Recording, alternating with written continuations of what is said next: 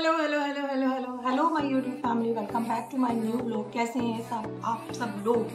I hope आप सब लोग अच्छे होंगे। तो आज मैं आ गई हूँ आपके लिए फिर से एक न्यू वीडियो लेके, फिर से एक न्यू ब्लॉग लेके मेकअप लुक के लिए।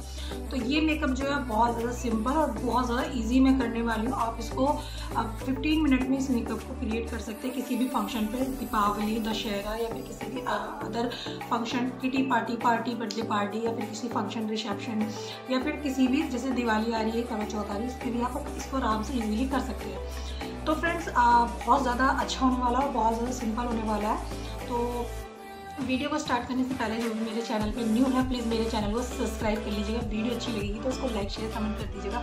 और आप ढेर सारा प्यार नहीं देते प्लीज़ आप मेरे को ढेर सारा प्यार दीजिए ताकि मैं और अच्छी अच्छी वीडियोस आप लोगों के लेके आप लोगों के लिए लेके आऊँ। क्योंकि आप लोगों को सपोर्ट करेंगे तो हमें मोटिवेशन मिलता है। बहुत ज़्यादा अंदर से स्ट्रॉन्ग वाली चीज़ अच्छी फील होती है, तभी हम आपके लिए वीडियोज़ लेके तो चलो जल्दी से वीडियो को करते हैं स्टार्ट और मेकअप को करते हैं स्टार्ट जो भी चीज़ें मैं आज के मेकअप में यूज़ करूँगी।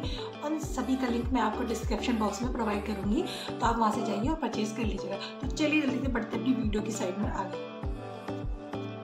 तो यहाँ पर ना सबसे पहले मैंने अपना फेस जो है वो अच्छे से क्लीन कर लिया था दैन उसके बाद में फिर मैं मैं यहाँ पर जो है ना अपने फेस को मेरा फेस थोड़ा ड्राई है तो मैंने यहाँ पे एलोवेरिया जेल लिया था। आ, आप कुछ भी मॉइस्चराइज़र वगैरह क्रीम भी लगा सकते हो बट मैंने मेरे पास यही था तो मैंने यही यूज़ कर लिया। देन उसके दो मिनट बाद मैंने फिर लगाया एक्वालॉजिक का ये गोल्ड वाला सीरम जो मैं पर्सनली बहुत ज़्यादा यूज़ करती हूँ। मोस्टली मैं यही सीरम यूज़ करती हूँ अपने फेस पर तो काफ़ी अच्छी शाइनिंग लुक देता है ये।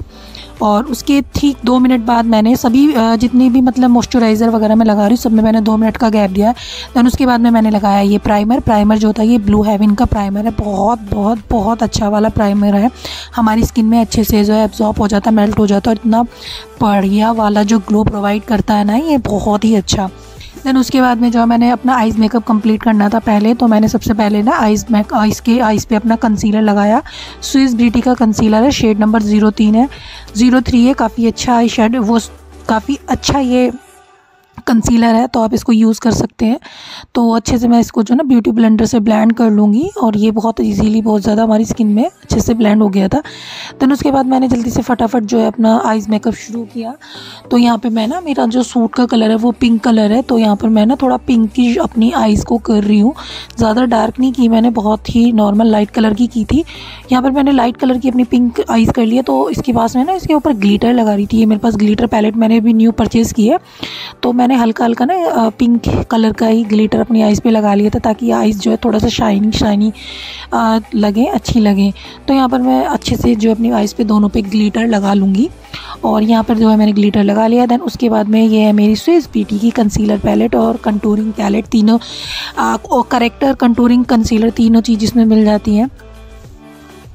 ये तीनों चीज़ मैंने अपने फेस पे लगाई देन उसके बाद में मैंने लिया फाउंडेशन फाउंडेशन जो था, ये था मामा अर्थ का शेड नंबर ज़ीरो थ्री है। आप अपने फेस के अकॉर्डिंग ले सकते हैं। इसमें काफ़ी सारे शेड्स अवेलेबल हैं। काफ़ी अच्छा है ये और बहुत जल्दी हमारी स्किन में एब्जॉर्ब हो जाता है और ब्यूटी ब्लेंडर से मैं इसको काफ़ी अच्छे तरीके से स्मच कर रही थी और ये बहुत अच्छे से मेरी स्किन में एब्जॉर्ब हो गया था। देन उसके बाद आता है हमारा कंटूरिंग करना। कंटूरिंग किया मैंने थोड़ा थोड़ा तो यहाँ पर मैंने किया कंटूरिंग कंटूरिंग के लिए मैंने जो है पेन स्टिक लिया था. एन वाई बे का काफ़ी अच्छा है लॉन्ग लास्टिक है. तो जहाँ जहाँ मुझे लगा कि थोड़ा कंटूरिंग करना चाहिए, मैंने नोज़ और अपना चिक के नीचे थोड़ा कंटूरिंग कर लिया था और काफ़ी अच्छे से ये एब्जॉर्ब हो गया.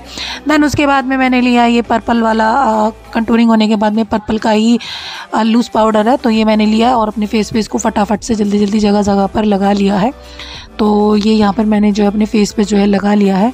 और सारे में ना मैं काफ़ी अच्छे से लगा लूँगी ताकि हमारा जो मेकअप है वो थोड़ा सा लंबे समय तक लगा मतलब टिका रहे हमारे फेस पे।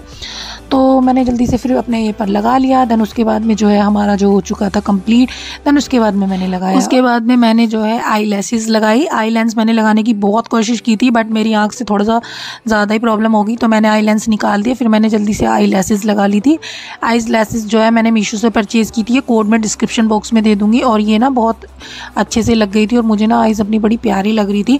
वैसे तो मैं लगाती नहीं हूँ, पर मैंने लगा ली थी। तो फिर उसके बाद में जो है हम अपनी आई ब्रो सेट करेंगे। तो आई ब्रो के लिए मैंने लिया है यहाँ पर स्विस बीटी का ही आई ब्रो का ये लिक्विड वाला पाउडर और जेल वाला और पाउडर वाला।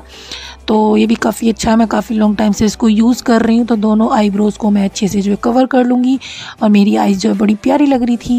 दैन उसके बाद मैं आती हमारी लाइनर की बारी। लाइनर के लिए मैंने स्केच वाला वाटर प्रूफ वाला लाइनर लिया, फटाफट से लाइनर लगाया। कॉर्नर तक लगाया था मैंने। शुरू के आइज़ के कॉर्नर से इनर कॉर्नर तक लगाया। दैन उसके बाद में मेरा मेकअप हो गया कंप्लीट और अब आती है हमारी लिपस्टिक की बारी। ब्लश जो था मैंने ऑलरेडी पहले लगा लिया था। ब्लश जो था मैंने N Y bake sorry S Q का जो यूज़ किया था दैन उसके बाद मैं लिपस्टिक लगाई। लिपस्टिक का शेड जो था मेरा चेरी कलर था। और ये मुझे बहुत ज़्यादा वाली अच्छी लगती है। और चलो, ये है मेरे मेकअप का फाइनल लुक हाइलाइटर मैंने ऑलरेडी लगा लिया था। अब दिखाती हूँ मैं आपको अपना सूट पहन के फाइनल लुक और मेकअप जो है काफ़ी अच्छा लग रहा था। बाकी पता चलता है सूट पूरा ड्रेस पहनने के बाद। तो ये है मेरा फाइनल मेकअप और मेरा टचअप जो है, यहाँ पे मैंने वाइट कलर के झुमके पहने हैं देन ये पर्ल वाला थोड़ा सा मोतियों बीट्स वाला मैंने एक हार पहना है और ये मेरा सूट है। सूट जो है मैंने मीशो से परचेज़ किया है। चाहिए आपको, अगर आपको अच्छा लग रहा होगा तो लिंक इसका और कोड दोनों डिस्क्रिप्शन बॉक्स में प्रोवाइड करा दूँगी। यहाँ पर ये चूड़ियाँ मेरी काफ़ी लॉन्ग टाइम से रखी हुई है और बैंगल्स भी मेरे काफ़ी लॉन्ग टाइम से रखे हैं। तो ये इस पर मैच कर गए थे तो मैंने यही इस पर लगा लिए सेट बना लिया और मैंने एक हाथ में वॉच पहनी थी, एक हाथ में मैंने बैंगल्स पहने थे और बहुत ज़्यादा अच्छा लग रहा था। तो कैसा लगा आप सब लोगों को ये मेकअप लुक आई होप आप सब लोगों को ये मेकअप लुक अच्छा लगा होगा। मुझे तो भाई ये मेकअप लुक बहुत ज़्यादा अच्छा लगा था। अच्छा लगा तो प्लीज़ मेरी वीडियो को लाइक कर दीजिएगा, ढेर सारा प्यार दे दीजिएगा और एक बार मैं आपको दिखाती हूँ फाइनली लुक पहले मैंने बिंदी नहीं लगाई थी, फिर मैंने दोबारा से बिंदी लगा के देखी और मुझे ये ना लुक बहुत ज़्यादा वाला पसंद आया है। तो काफ़ी सिंपल है और आप इसको किसी भी ओकेशन पर कर सकते हैं। तो कैसा लगा बताना ज़रूर मुझे कमेंट करके। मिलते हैं अपनी नेक्स्ट वीडियो में नेक्स्ट चीज़ों के साथ।